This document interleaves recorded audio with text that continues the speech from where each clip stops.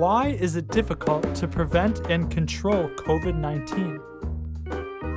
Now, many people around the world have been infected with COVID 19, and lockdown has even been taken as a measure in many countries and regions. So, why is it so difficult to prevent and control COVID 19? After all, the new coronavirus has an incubation period of up to 14 days.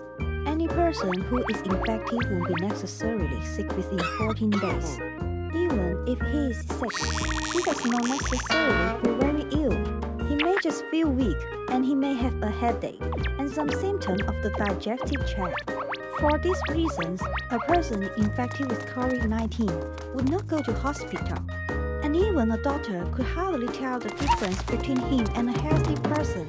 Worst of all, will unwittingly spirit the virus to others during the 14 days of incubation. So, we must make more efforts to prevent and control COVID-19. And you must go outdoors less, wear a face mask, wash your hands often,